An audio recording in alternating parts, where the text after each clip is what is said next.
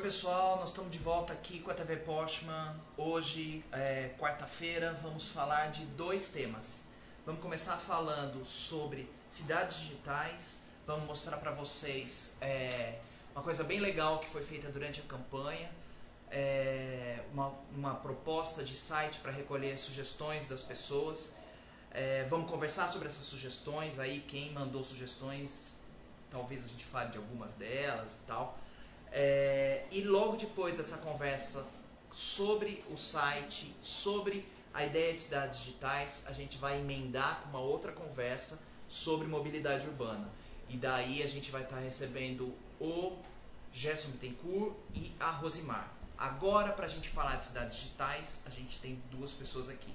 O Sérgio Amadeu, que já esteve várias vezes aqui na TV, é, e está aqui ao meu lado. A câmera já está mostrando?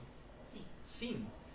Está aqui ao meu lado o Felipe Fonseca, que está dando uma força nesse gerenciamento do site aí do, do Campinas Melhor. É, antes de passar a palavra para o Felipe, é, eu só queria falar que esses dias agora são muito importantes.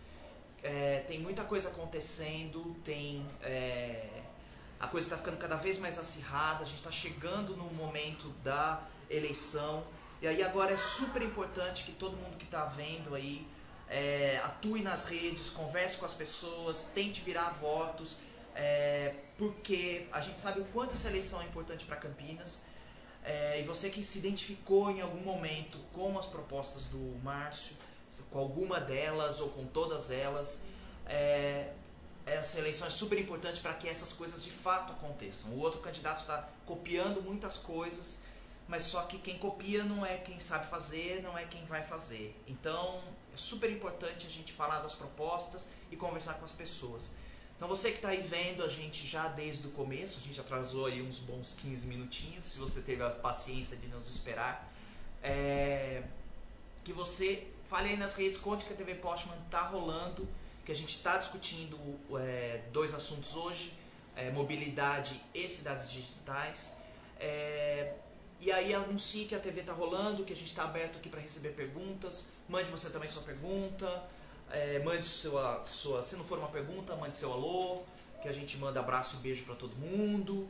E, e é isso aí. Então, para começar, o Felipe vai contar um pouco aí pra gente do Campinas Melhor Fala aí, cara, que, que... É, como foi? Na verdade, é uma experiência bastante interessante que tem, essa, tem esse ritmo meio maluco da campanha, né? Que é onde as coisas todas se comprimem, as coisas acontecem ao mesmo tempo. Mas é, esse site é um, é um, site que é baseado em um mapa, ele tem um mapa de Campinas, as pessoas podem entrar nele, sugerir coisas, falar sobre o que, que acontece no bairro delas, falar sobre a rua onde está acontecendo o problema, falar de coisas que são comuns, que estão ali no cotidiano.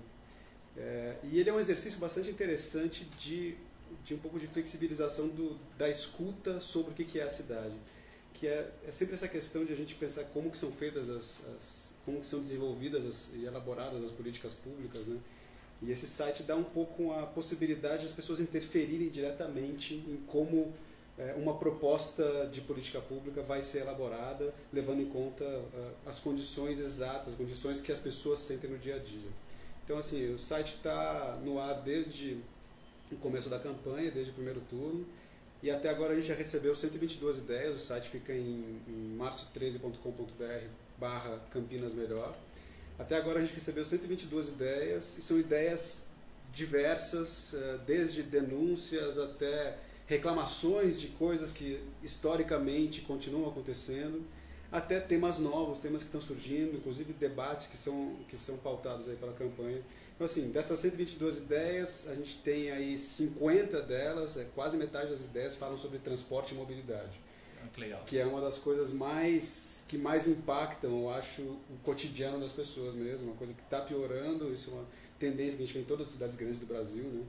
É, e aí a segunda categoria, eu achei bem interessante, a segunda categoria onde as pessoas estão é, mais sugerindo ou reclamando é cultura. Tem 20, postagens, 20 contribuições ali, demandando transformação de espaços em espaços culturais, ou falando, as pessoas dizendo, ah, aqui no meu bairro não tem nada, não tem nenhuma estrutura para isso, ou dizendo, olha, existia uma estrutura nesse lugar aqui e agora ela foi abandonada nos últimos anos e tal.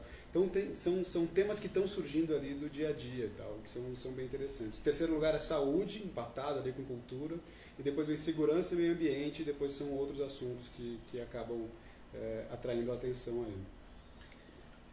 Vocês devem estar tá vendo o mapinha, é, aqui estou vendo umas coisas aqui acontecendo, é o mapinha que está aí, é o Campinas Melhor. Agora não, agora vocês estão vendo o Felipe de novo, está completamente sincronizado, não é o mapa. É, então, para quem. Ah, o, o, site está aberto lá ainda, é, tá, tá recebendo as propostas. É claro que assim, a gente está numa dinâmica de campanha, então tá uma correria muito grande, significa que assim, muitas vezes vocês escrevem algumas coisas lá, não é automático que isso é, vai para o programa e tal, e não é também automático toda sugestão que entra, porque é um processo político, é um processo de é, discussão, de negociação, de encaixe, tudo precisa ter uma coerência. Mas é, as demandas estão todas lá, quer dizer, não tem é, restrição, elas estão ali, tudo que foi é, é, sugerido está ali. E elas estão sendo encaminhadas para as pessoas que, é, que são responsáveis por áreas diversas do, do programa. Né? Uhum. E aí, assim, até de repente a gente pode. É, até algumas dessas coisas, se o, é, o Gerson vindo para cá, a gente pode de repente até conversar, até com, tirar algumas dessas dúvidas, Exato, né? Isso é legal. É, eu acho que é interessante disso. Tem, uma, tem um pessoal de diversos lugares do Brasil que há alguns meses é, coordenou pela internet a elaboração de uma carta que eles chamaram de Democracia Direta Digital. É, que aí, assim, estava eh, demandando que se utilizassem mais tecnologias digitais para auxiliar no processo de decisão sobre questões eh, da sociedade. E claro que quando a gente fala de, de assim, existe um, uma intenção de promover mais democracia direta através da internet, mais democracia direta na sociedade, utilizando tecnologias.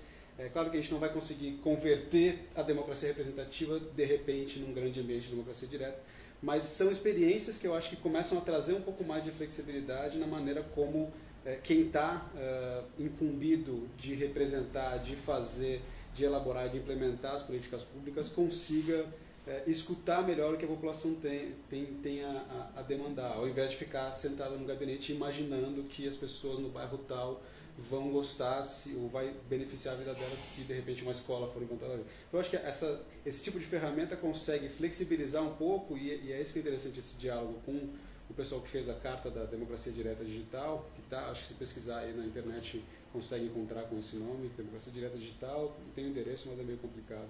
É li7e.org/ddd2. Acho que é mais fácil procurar no é. mecanismo de busca. É, e aí eles colocam ali algumas referências de democracia líquida, de democracia experimental, experiências que foram feitas em outros países. É, trazem algumas referências, inclusive de um sistema que foi desenvolvido aqui no Brasil, é, chamado Agora, Agora Comuns, que é para auxílio à tomada de decisão coletiva através da internet. Claro que assim, se a gente vai falar de democracia direta através da internet, tem toda uma questão de identidade, de como vai saber se o cara que está apertando o botão para emitir uma opinião ou para dar um voto ali é a pessoa que está dizendo ser mas é, eu acho que tem essa possibilidade de, de ir, ao, ir é, num caminho que possibilite maior participação das pessoas nos processos de decisão. E aí talvez algum dia a gente consiga realmente fazer democracia direta apoiada pela internet. Mas enquanto esse tempo não chega, usar essas tecnologias para escutar e para elaborar e para e é, começar a implementar as coisas, acho que é um caminho interessante. Assim. É, e eu acho que tem essa coisa também, assim, porque eu, assim, desde o começo que a gente começou a fazer a, TV Post, mas a gente tem falado o quanto é importante falar de política, usar o espaço para falar de política, além de apresentar as propostas do programa do, do Márcio, acho que a gente tem tentado conversar um pouco é, de uma maneira mais ampla sobre política na cidade. É, as propostas, todas as sugestões que são encaminhadas, elas são uma maneira de vocalizar isso, uhum. mas acho que elas são só uma primeira parte, né? Porque política, é, até outro dia eu estava discutindo isso com, com uma pessoa que estava propondo voto nulo, etc.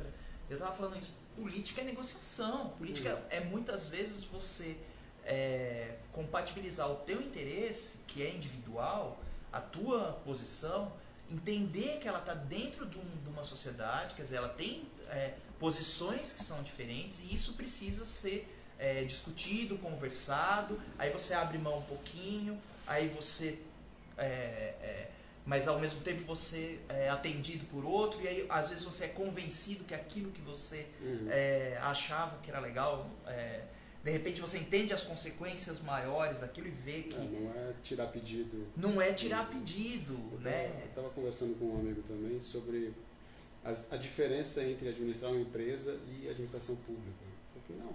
Ah, tem esse, existe esse argumento que ah, os caras tinham que é, administrar a cidade da maneira como se administra uma empresa. Uhum. Só que tem uma grande diferença que o objetivo final de uma empresa é ter lucro. Uhum. E aí todas as decisões é, têm um critério último, que é assim, se tudo mais empatar, o critério final é vai ter lucro ou não vai ter lucro. Uhum. Na sociedade não existe isso. Né? Na, na, na, convivência, no cotidiano, na política, não existe um objetivo final. O objetivo é fazer o máximo possível para equilibrar os diferentes interesses. E os interesses nunca vão ser todos iguais, não vai existir consenso, então tem todo esse processo de negociação. E, e essa coisa também, a partir do processo de, de, de, colocar em contato diferentes propostas, as pessoas vão até mudando de opinião, vão é, vai é. evoluindo uma coisa que é uma composição de várias ali, e são equilíbrios instáveis, mas é o que dá para fazer se a gente quer viver em sociedade. É, e é, é, eu acho que a palavra é exatamente essa, você viver em sociedade e assim, é, entender a política também como um lugar de socialização, né? Uhum. É, queria mandar um abraço para o amigo Felipe Saraiva, companheiro de Twitter do Software Livre. Abraço, vários amigos Boa. Felipe aí. é, e, e, assim, eu, aí eu queria comentar uma outra coisa em cima da, da coisa do, da, disso que a gente está falando. É, eu tenho um amigo que trabalha com o governo Tarso Genro uhum. no gabinete digital, com uma experiência super legal também. É, e aí eu conhecendo a, a, Eles têm vários instrumentos que eles criaram, governador pergunta, governador responde, toda uma, uma série de, de coisas aí, se vocês. É, interessante, procurem lá, gabinete digital, procurem gabinete digital, Rio Grande do Sul, que vocês vão ver, é bem legal o projeto. É, mas teve um momento que eles têm um projeto que era alguma coisa do tipo você. É, o governador. Você, várias pessoas mandavam perguntas, hum. e aí havia um processo de votação e era escolhida uma pergunta para o governador é, responder.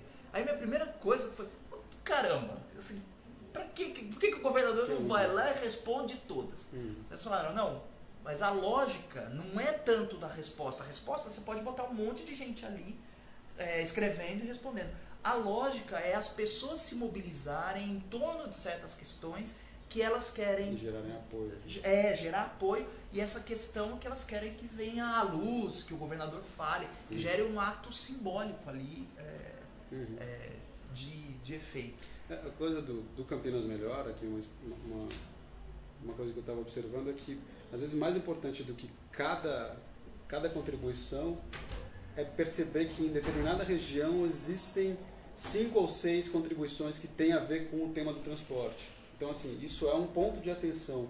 Então, não necessariamente cada, cada, cada coisa colocada ali vai exigir uma resposta imediata, direta, mas dá para se pensar em construir uma, uma, uma, uma solução que, uhum. que faça frente a essas diferentes coisas que acontecem na mesma região, que tem é, assuntos parecidos e tudo mais. Estamos aqui com a presença do amigo Sérgio Amadeu. Serginho, Opa. chega aí, chega aí. Senta aqui, cara. Aí, o leão. tá aí. Isso aí. A gente está falando sobre o Campinas Melhor, o, o site para receber propostas. Mas agora que você está aqui, é, eu acho que a gente podia falar um pouco do tema mais geral, que é a questão da cidade digital. Você teve presente aí junto da, da elaboração dessas propostas, né? Acompanhando. O que você pode falar para a gente dessa? É, é, a cidade digital é um um nome, né, vamos dizer, fantasia para uma série de propostas né, de uma cidade conectada, de certa maneira. Né?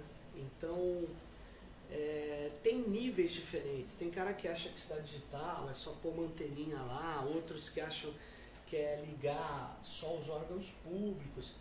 E lá em São Paulo a gente reuniu vários. É, militantes, técnicos, enfim, movimentos, ativistas, e a gente fez lá um texto que rodou por várias pessoas, um texto é, que se chamou Decálogo por uma cidade digital, né, livre, aberta, inclusiva, né, onde a gente, é, inclusive, é, trabalhava com o conceito não só que a cidade ela tem que ser uma cidade que permita que as pessoas tenham acesso a, a, a ao ciberespaço de qualquer ponto tal, é, ou seja, ele vai estar com o computador na praça, vai estar nas, nas periferias, no centro, as pessoas têm que ter facilidade de comunicação.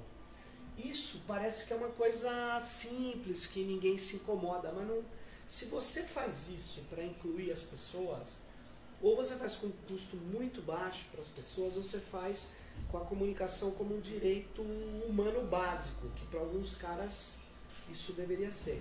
Ou seja, aí você tira a renda de quem quer ganhar dinheiro com comunicação. Uhum. Sociedade da informação, uma sociedade de comunicação também, né?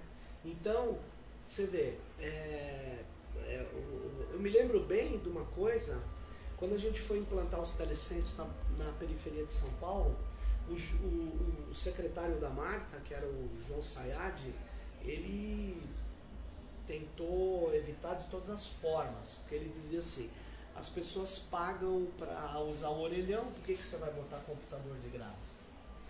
E aí a Marta me chamou lá e falei, olha, por que que tá errado é pagar o orelhão. Uhum. Porque a questão da comunicação é uma questão básica. O orelhão é importante, mas não é nem tão importante quanto o computador. E ela bancou, por isso que teve os telecentros. Agora, hoje, você vê que o, o, é uma discussão complicada. Então, quando você fala numa cidade digital inclusiva, você está falando é, de reduzir o custo de conexão da própria prefeitura, você fibrar tudo isso aqui e você ter uma empresa pública ou, ou abre uma licitação para as pessoas gerirem uma rede pública, primeiro que você põe fibra ótica ligando todos os órgãos da prefeitura, todas as escolas, todas as creches. Quando você precisa ligar da creche para a administração central ou da prefeitura para um posto de saúde, você não usa mais a telefônica, a Vivo, uhum. sei lá, eles mudam de nome toda hora. Por quê? Porque você usa já a fibra ótica. Aí o que, que acontece? Isso cai o custo para a prefeitura, mas tira a renda desses caras. E esses caras são contra. Uhum. Então é um absurdo uma prefeitura de Campinas gastar dinheiro com conta de telefone ainda, para falar dentro dela. Entende? Então, é, agora imagine você abrir um sinal gratuitamente. Hoje os celulares para quando você for falar dentro de Campinas, você não vai pagar mais conta de celular. Uhum. Porque você vai usar voz sobre IP no celular. Então essa questão é assim, primeiro a conectividade geral ajuda a baixar o custo de vida, aumenta a capacidade de comunicação. Isso é legal. Segunda coisa é que você aumenta, é, é, é você trabalha a ideia de poder fazer de fato um mecanismo de participação popular, orçamento participativo. As tecnologias não impedem isso, elas ajudam isso. Uhum. Elas podem impedir também, mas no nosso caso, o Márcio Postman ou o pessoal que fez o manifesto, que uhum. eu me referi, quer que isso seja usado para ampliar a força da participação. E, um, e você pode ser mais transparente. Então, você pode é, não só editar os dados para o povo olhar, do gasto público, das programas sociais, de tudo. Mas você pode também entregar uma cópia do banco de dados para quem quiser manipular na sua casa. Hoje qualquer pessoa é, tem condição de instalar um software que a gente chama de minerador de dados e vai baixar aquele maçaroca de dados da prefeitura, uma cópia que é digital, então portanto não tem nenhum uhum. limite de, de distribuição, não é um livro que você tem que imprimir pessoas baixam e analisam o que elas quiserem, as entidades analisam o que elas quiserem, os, porque não fica só aquela coisa do Tribunal de Contas receber um relatório no final do ano, só ele fiscaliza, aí você tem um acordo, que nem, por exemplo, é, eu vou, vou falar só uma parte aqui, esse Jonas Donizete, esse cara que até então era disputa, um cara lá que parecia ser um cara muito fraco, inconsistente, com voz aveludada. Só que eu queria chamar a atenção, se vocês repararam na propaganda dele da TV hoje, mostra o que as pessoas tendo acesso à informação, mais conexão, uma coisa que ele está fazendo ele não ousaria fazer. Olha só, eu queria lembrar, na denúncia de, do projeto de lei que ele apresentou, do trabalho infantil, acima de 7 anos, ele primeiro disse, isso é uma mentira na CBN de manhã. Isso aqui é o desespero. Aí ele viu que começou a rolar na rede, todo mundo pegando o texto. Até porque o projeto é tão absurdo que eu lembro que quando eu comecei a comentar, as pessoas falaram, não, isso não é é possível. possível, Manda o link. Tá Aí o link começou a ser mandado. Aí ele viu o seguinte: eu não posso mais dizer que não tem o projeto. Aí ele começou a dizer: meu projeto é de é, trabalho profissionalizante. Ele já começou a mentir. Só que até aí tudo bem. Aí o que eu achei grave, ele pôs um comercial na TV onde ele mostra o parágrafo, o artigo 1 do projeto Aham. só. Hum. E ele fala assim: o. PT quer confundir. E aí ele mostra só o parágrafo primeiro, que hoje é ilegal, inclusive. Aham. O cara, o publicitário dele, eu conheço, é um cara, cara assim, tem um caráter duvidoso. Esse rapaz que é perseguido em Brasília, ele acha que vai enganar as pessoas junto com o Jonas. Então ele põe assim, o parágrafo dizendo, ah, eu só queria arrumar trabalho para quem tem 14 anos. Aí ele para, achando que, ufa, agora eu tenho pouco tempo até a eleição, eu digo que eles estão lendo uma coisa que não existe no projeto.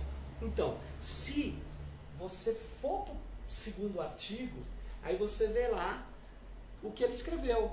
Uma coisa que ele fala pros, de 14 anos no primeiro artigo. Aham. Aí acima de 7 é para os meninos de feira, que ele não propõe uma escola, ele propõe aprender a carregar sacola e ser flanelinha. Então o Jonas, o que, que ele quer fazer? Ele quer aplicar uma, uma técnica que se ele tiver no governo, certamente ele vai praticar Aham. que é a técnica do, da, do, do ocultamento. Então ele diz, eu vou editar tudo. Eu não quero mais. Esse cara é um perigo.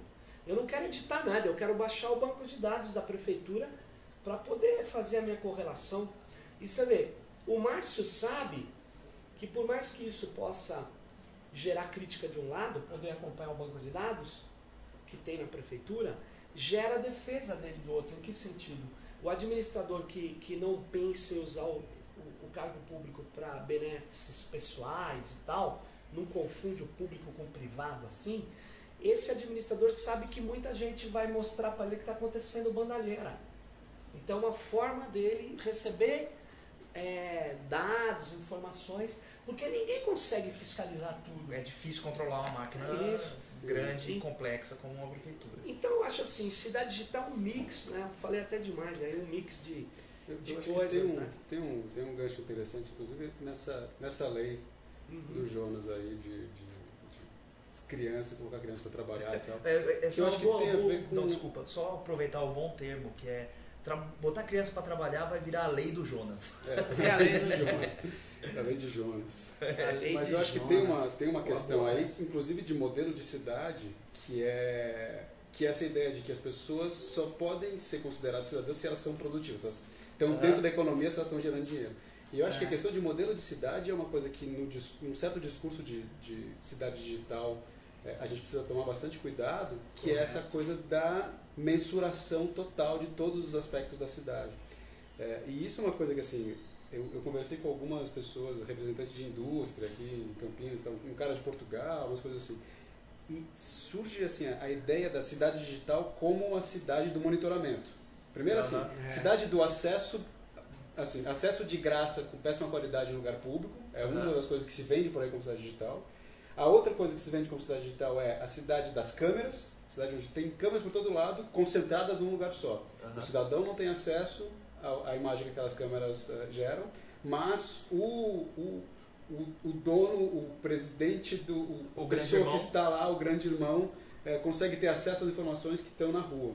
Isso a gente fala, não, isso é um regime democrático e tal, isso não, mas se começa a existir a possibilidade de democraticamente entrar alguém com tendências autoritárias, como a gente sabe que existe sempre esse risco no Brasil e em qualquer lugar do mundo, É, a gente está criando toda uma máquina de monitoramento que a gente não sabe onde vai parar. Né?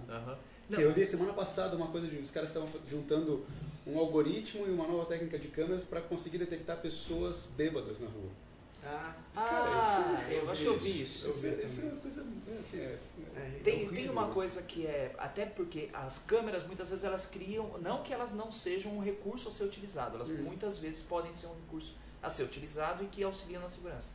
Mas essa, essa coisa de, de entender a câmera como uma ferramenta central para a segurança é altamente enganadora, porque vários estudos sobre vigilância mostram que ela cria uma falsa sensação de segurança e muitas vezes ela o que não corresponde, quer dizer, ela não é efetiva porque na verdade segurança não é dada só pelo pelo fato de que você está monitorando, né? Hum. É, então assim é uma, é uma questão complicada que se você trata isso de uma maneira simplista, como no programa do Jonas inclusive está tá sendo tratado, é, você corre o risco de ter gastos porque tem empresas com muito interesse em vender câmera Claro. Muito interesse em vender monitoramento e você faz um gasto enorme do Estado para alguma coisa que não vai ser efetiva e que na verdade só serve para tirar, é, é, ir lá e ficar tirando bêbado da rua e, e, e, na verdade você não combate o crime como você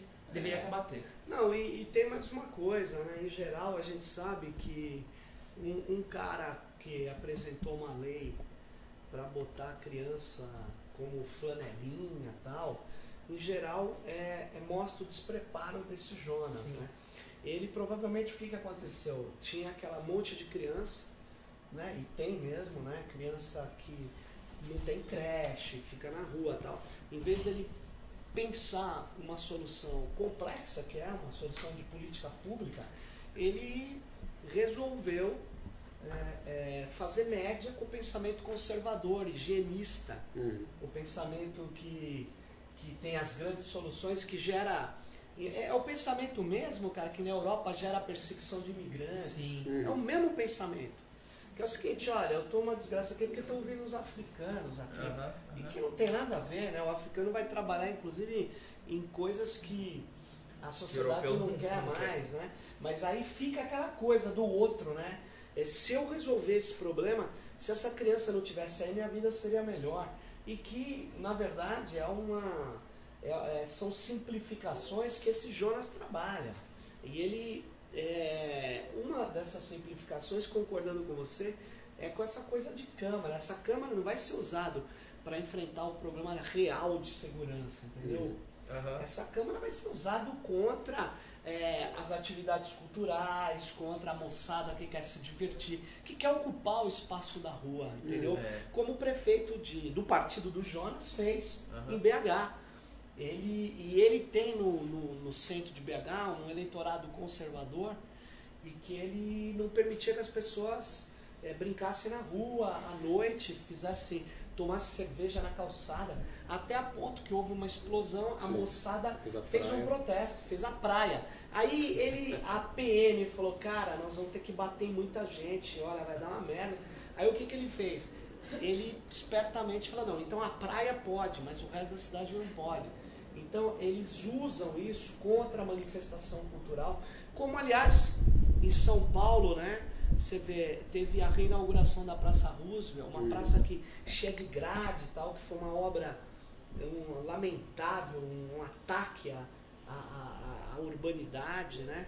Mas enfim, aí a gente compôs o Kassab inaugurar, uma moçada ocupou, fez lá né, um ato de amor por São Paulo, levou Emicida, levou lá um, um crioulo, um monte de caras lá, foram milhares de pessoas lá e, e as meninas fizeram manifestação, tirando a camisa, Hum. é, pintando o corpo de rosa. Aí o que acabou, a, a- a guarda já veio, não, nós temos que tirar atentado ao pudor. Porra, atentado ao pudor é o Jonas Donizete que apresenta uma lei dessa, que quer pôr criança para trabalhar. Menina com, com o peito de fora só na tela da Globo, na praça não pode. Quer dizer, é um negócio, é um crime, é um crime com esse, com, É. com esse, com esse lance desse pessoal, entendeu? Só responder aqui, mandar um abraço pro Everton que está assistindo a gente. É, essa lei do trabalho infantil está em vigência? Não está, porque ela foi é, Não, ela está em tá em vigência, ela, não está regulamentada. Isso, porque ela, mas ela foi derrubada por veto do. Não, não. Ela foi vetada e, E depois a, a Câmara, Câmara derrubou. tornou lei, Ah, derrubou o veto. Ela foi aprovada Ela sim. foi aprovada pela Câmara. Aliás, é, é interessante, porque em geral uma lei está assinada pelo prefeito. Só que o Chico Amaral, que era o então prefeito, se recusou a assinar. Por isso que quem está assinando a lei eu é, os, é que é o cara que apoia, aliás, o Jonas hoje, que era o então presidente da Câmara. Aham. Então, o negócio é, É, é feio. ó. Vou pedir pra quem tá aí no Somos Postman pra botar inclusive o, o, o link da. Tem uma matéria do Expresso que é bem boa. É, é verdade. E aí para o pessoal aí entendendo, a, a matéria é, explora aí a lei, você vai. Tem link pro texto dela e tal. Ô Felipe, mas vamos voltar um pouco para questão da, da- do Campinas Melhor. Uhum. É, na questão do. Tem, que, você estava falando pra gente que há uma questão que aparece muito é a questão do transporte. Uhum. Tem alguma coisa ali que você quer. é, qual- em que, que teor que é essa, esses comentários sobre transporte? Tem, assim, tem desde pessoas dizendo que ah, aqui não, não dá mais a rua, aqui não dá para passar. Tem pedidos bastante pontuais, assim, alguém falando, ah, aqui, no, aqui em Barão Geraldo tinha que mudar o sentido de, de, de trânsito de uma rua para desafogar, sabe o quê? E tem pessoas reclamando coisas históricas. Aí tem, tem gente falando, tem uns quatro ou cinco posts é, reclamando sobre o abandono do, do, do VLT e Ah. pedindo providência, pedindo que se faça algum plano para aquilo, que é um, pelo que eu pude perceber, um elefante branco ali, uma coisa que está meio. Tem, a gente vai falar sobre né? mobilidade urbana depois, aí a gente inclusive conversa sobre isso, sobre os leitos do VLT. Porque se eu não me engano, e aí depois me corrijam se eu estiver errado, é, a ideia é transformar aquilo em ciclovia. Ah, é? É, Sim, mas aí a gente vai falar mais disso mais tarde. É, eu, eu lembro de. O, o, o site, o Campinas Melhor, é uma coisa legal, né? nem só para você colocar a proposta, mas só de você ficar ali fuçando nas propostas é, um- é, Uhum. um- é um negócio informativo sobre o que as pessoas querem é, da cidade. Uma coisa bacana que eu vi, não sei se você chegou a, a, a ver, tem uma, uma fazenda no Parque Jambeiro, Hum. que é na, na, na saída ali de Campinas para Valinhos, no limite, que era uma fazenda antiga, eu acho que tinha escravos, e aí acabou ficando, ficou só uma velhinha lá, depois a velhinha morreu e o prédio ficou abandonado, e agora a fazenda está toda detonada, toda em ruínas, e Hum. tem um, um matagal por ali. Aí as pessoas pedindo para transformar aquilo em parque histórico. É, porque tem o casarão lá e É, transformar aquilo num espaço cultural.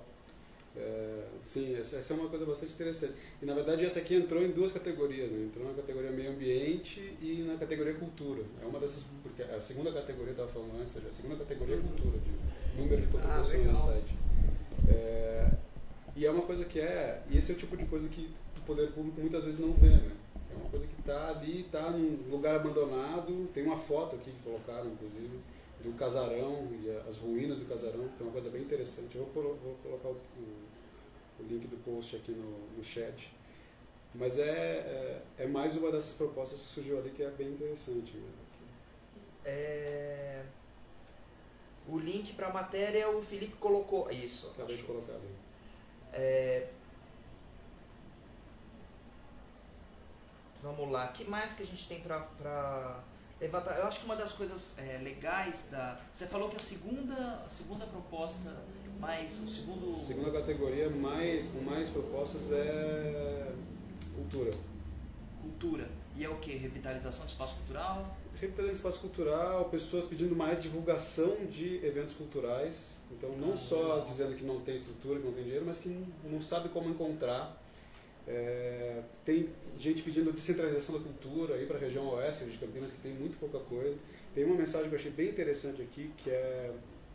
Acho que foi a Wanda que mandou, ela dizendo: é, cultura, ó, falta, falta opção para os jovens e crianças, culturalmente falando. Queremos algo além de shopping que é um pouco questionar essa coisa de, de modelo de desenvolvimento que vai lá, cria um, um espaço e de repente tem um shopping, né? tem um É. grande empreendimento comercial junto de um empreendimento imobiliário e tal. O pessoal fala, não, a gente quer cultura, ó, quer teatro, festival cultural, pista de skate, valorização de praças, espaço de encontro e tal. É, e, e é um pouco é, e é mais uma vez essa, essa, coisa da visão do cidadão, né? Tá vendo que essas coisas acontecerem e fala, não, isso que estão oferecendo pra gente não serve, a gente não quer shopping center. Shopping é, center não é cultura. Não eu é acho que, acho que um dos, encontro, dos né? pontos dessas tecnologias e também que é interessante, que eu acho que o, o Campinas Melhor, eu acho que ele é só um pequeno exemplo de coisas que podem ser feitas é, numa administração pública para dar é, ouvido, né, para ouvir melhor os cidadãos. Porque aqui em Campinas ainda a situação é, é, eu acho que é mais grave até do que outros lugares, porque aqui a gente tem meios de comunicação muito controlados, poucos, muito centralizados. Então existe essa, esse anseio das pessoas em conversar mais, em falar mais. E acho que isso é um, um dos exemplos de, é, de, de é, ferramentas para fazer as pessoas falarem mais. Mas para falar mais precisa ter conexão, né? É. Uhum. E, e acho que, assim, Sérgio, pegando o gancho do que você estava falando, é, essa coisa da cobrança ou não cobrança, mas tem uma, uma questão que as pessoas muitas vezes não olham com a devida atenção, é que o fato de que da população ter conexão fácil é, e barata, e, ela é também um estímulo ao setor produtivo, né? Porque as pessoas podendo é, é, ter acesso a mais informação ou ter mais contato, significa também elas poderem se formar melhor, produzir mais, não é? Claro, porque é, tem um, um, outro aspecto que é, é a, a, a, tendência das coisas é, é, é estarem é, cada vez mais conectadas para que atendam os interesses melhoria de condição de vida, de trabalho, de estudo, de localização, de lazer. Então é o que né, se chama de internet das coisas. Os nomes não importam porque eles mudam muito, mas a questão é a seguinte: é, o, o, a cidade ela tem é, muitos detalhes que ela pode melhorar é, com comunicação, entende? Com, com conexão. Tanto você se comunicar com, com o que tem na rede e a partir da rede com as pessoas, quanto das pessoas se comunicarem é, com os seus os objetos, com a sua casa, com o seu local de trabalho, é, até o, o, o, funcionário público que está trabalhando na rua, o cara que está prestando serviço, está prestando socorro, o cara do SAMU. O cara do SAMU já está conectado, já está ajudando a equipe de saúde a fazer uma, uma ação que requer uma emergência. Mas também não só para emergência. A moça que está em casa pode estar tá conectada ali com, com, com as equipes de saúde da família. Inclusive tem que uhum. repensar o uso de tecnologia na equipe de saúde da família porque você pode fazer isso com calma, mas bem feito. Você pode juntar, né? É, é uma prática muito comum aí, fazer um hackathon, juntar, juntar um monte de cara maluco aí, que é muito bom, de ideias de códigos, caras é, que tem também ideias de design, ideias de a cultura da informação, juntar com esse pessoal, por exemplo, de saúde da família, promover um encontro e dizer, ó, a nossa prática costuma ser essa como é que eu posso fazer um software, aplicativos para celular, para mobilidade, para melhorar a nosso trabalho de campo. É, é, não é fazer coisa é, que depois não possa ser usado, mas é também. Você uhum. tentativa e erro. Eu acho que o Márcio tem uma ideia muito legal, que é dessas bolsas para jovens e tal que é uma das outras coisas que está no decálogo, a gente tem que incentivar a produção é de tecnologia. Bolsa para as pessoas produzirem material em Creative Commons, né? Por exemplo, também. Que está isso no programa. É, também. Coletivo. Coletivos, coletivos. Coletivos. O cara ganhar uma bolsa aí, mas não é assim aquelas bolsas de, ah, você tem que me dar um relatório. Não. É o seguinte, você vai ser, é, o teu coletivo, as pessoas é, vão ser apoiadas pela prefeitura é, pô, isso é barato, cara. Se você gastar aí com essa meninada que tem, que nem bolsa de iniciação científica, você vai ter uma grana pequena gasta nisso, você vai incentivar muito as pessoas a, a estarem é, trabalhando tecnologias da informação, criando coisas novas. E eu, eu acredito muito que uh, mesmo quem não queira trabalhar e tal, tenha certeza que vai é, chegar aqui para participar de um encontro para produzir soluções, né? Você junta três dias aí para produzir soluções técnicas, tecnológicas, é, informacionais, comunicacionais para saúde, para educação, para Pô, e aí você pega a inteligência coletiva da cidade, da região, do país, ou do mundo, não importa, você pode chamar, se tiver um cara aí que estiver passando aí, quiser ajudar, é, tem dado certo, gozado, né? O Google faz muito isso, essas mega empresas fazem muito isso, e um tem os caras, tipo esses conservadores dos tucanos aí, tem o maior preconceito, entendeu? E quando faz é fake. Ah, Eu me lembro, só para te dar um exemplo, esse negócio de dados abertos no governo, logo que saiu, tem um pessoal sério ali no governo do estado querendo fazer dados abertos. E eles botaram uma página. Cara, o Alckmin mandou tirar. Mandou tirar e, e se entra lá, cadê os dados abertos? O Kassab Sumiu. Também, eles tinham publicado o salário dos funcionários. É, mas, o Kassab mandou tirar. é, mas você publica os salários. Não, eu sou a favor, você publica os salários, mas não é disso que eu estou. Isso ainda é editado. Sim. Eu quero saber o seguinte, cadê os dados abertos, uhum. Kassab? Não, aí já não, aí não. Então é, é tudo. E, eu acho que tem uma outra coisa que é um pouco ir além disso. Eu participei de algumas essas conferências de controle social e transparência que aconteceram começo desse ano, ou ano passado, fim do ano passado, começo desse ano. E geralmente quando se fala em dados abertos de, de administração pública, de prefeitura e tal, o pessoal só fala de uh, dados sobre execução orçamentária. Uhum. Mas tem toda uma outra questão, isso é uma, uma, discussão que eu levantei quando participei lá da, da, da conferência em Ubatuba, que é cadê os dados sobre os processos que levaram à tomada de decisão? Cadê os laudos? Cadê o laudo de licenciamento ah. ambiental daquela obra? Cadê é, o memorial daquela obra? Porque aquilo, assim, é, tudo isso é informação que é gerada pela administração pública, é gerada quando faz as obras, está disponível em algum lugar, mas ninguém fala em publicar isso. Só fala em publicar, ó, a gente gastou tanto com tal coisa. E é mas, claro, tem toda a questão de publicar protocolos, mas tem assim, a, a, a, administração pública, a prefeitura, gera um monte de dados, dados sobre o semáforo da esquina da minha casa, quais são os horários, quais são, qual é o tempo dele, qual é o horário que ele vai abrir. Eu como cidadão, isso é uma questão que tem um, um, americano chamado Adam Greenfield coloca, eu como cidadão gostaria de ter acesso aos dados sobre o semáforo da minha esquina. Porque aí eu posso fazer um aplicativo para mim mesmo para dizer, ó, toca o despertador na hora tal, eu vou sair de, de casa na hora tal, eu consigo pegar o aberto. direitinho. É, mas assim, é um monte de outros dados que vão muito além da, de dados de execução orçamentária. São claro. a informação que é gerada na, na, no dia a dia da administração. É uma dada de escola, cara, de o que está acontecendo, de, de, de ações mesmo do, do próprio, da própria equipe que vai fazer manutenção urbana. Uhum. E eu acho assim, o que você tem que proteger são dados das pessoas, né? Tem, tem outro, Não dados que são públicos, né? Tem outra área que precisa bastante de tecnologia que potencializaria muito o alcance, que são os conselhos. Os conselhos municipais são não tem nenhum apoio de tecnologia Nada. poderiam usar bastante. É, e isso assim. tem a, a, previsão de conselhos, etc, está tudo dentro ali do programa do Márcio. Só para encerrar, porque os outros convidados já, já chegaram, Vamos e lá. aí eu vou só fazer um comentário, queria ver se vocês concordam comigo ou não. É, a tecnologia oferece um monte de possibilidades. Se a gente elege um governo com viés ditatorial, com viés autoritário, com viés de usar trabalho infantil, que a gente vai ter vai ser controle.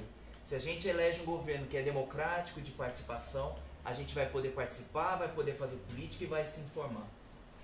É, a tecnologia ela não, necess, não necessariamente traz em si é, um uso exclusivo. Ela é, na verdade, de uso, na, é, é, vamos dizer, múltiplo. Você tanto pode usar para um lado ou para o outro. Claro que tem tecnologias que o uso não é múltiplo, uhum. tem o uso específico. É que, eu, como eu falo, uma bomba ela não é uma tecnologia que visa salvar vidas. Uhum. Ah, mas fala, não, mas eu só tenho uma bomba para evitar que morresse mais gente. Não, aí, mas é para matar, é para destruir. Agora, uma te tecnologia da informação, equações, essas coisas que a gente usa, isso pode servir a uma sociedade totalitária, de, de um controle político sufocante, ou pode servir para ajudar a autonomia da cidade, das pessoas, da, pode ajudar, pode integrar mais a inteligência coletiva. Então, é, você pode ir para um lado para o outro. É, eu concordo plenamente com isso. Né? É, eu acho que tem essa, essa ambivalência aí dessas tecnologias. E tem uma questão de prioridade também, que surge às vezes, que as pessoas falam, ah, não, mas vai investir em tec dar tecnologia à população antes das crianças aprenderem a ler, antes de investir em educação. E as pessoas não param para pensar que, cara, a tecnologia presente ali vai ajudar as crianças a lerem também. Uhum. A tecnologia não tem um uso pré-definido. Ela é moldada com o uso que a gente dá para ela. Então, assim, é toda essa flexibilidade que ela tem que eu acho que é interessante, principalmente quando a gente fala de protocolos abertos, de tecnologias livres, de licenças livres, de é. recursos educacionais abertos. A gente está é, colocando um uso da tecnologia ali que é um uso político, que é um uso de abertura, de participação, de colaboração, de fazer um futuro mais justo e aberto. Eu tenho mais. certeza, só complementando, com essa ideia dele usar a inteligência universitária que está apartado da cidade, com um programa como Recurso Educacional Aberto, cara, que é incentivar o professor a fazer o seu próprio livro didático, liberar em Creative Commons para o outro professor poder melhorar, com orientação de gente que estuda isso nas universidades de Campinas. Cara, eu acho que nós vamos dar um salto muito grande aí, é, de fato, numa, numa uh, cibercultura, uma cultura digital que seja efetivamente é, democrática, né? livre, né? Eu acho. É isso aí. Gente, dois minutos só, só vamos trocar aqui a, a o vamos sofá lá. e a gente já volta. Falou. Bye bye. Obrigado.